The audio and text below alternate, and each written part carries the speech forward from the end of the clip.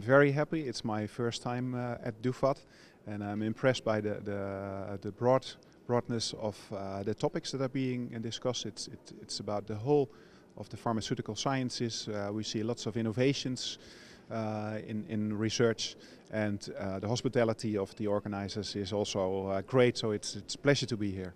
Well, the experience has been overwhelming in the sense that it's a full program, so there's lots of interesting talks to listen to. Um, it's, it's interesting to discuss with students, so I had an interesting session with students who presented their posters and it was a pleasure to discuss with them. Uh, so scientifically, very interesting. Uh, but also the social activities are, are uh, very well organized and it's very interesting to uh, experience uh, Dubai and, and, uh, and the people.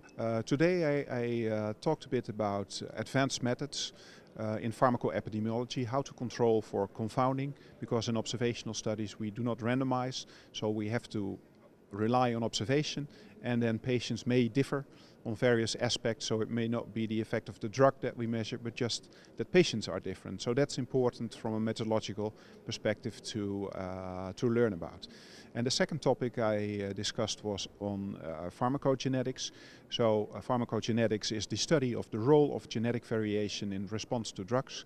So patients uh, differ in many aspects but especially in terms of their genetic profile and uh, genetics uh, uh, uh, has, can have a major impact on the response to drugs. So some patients are very um, uh, poor metabolizers, meaning that they have difficulty in, in transforming the drug.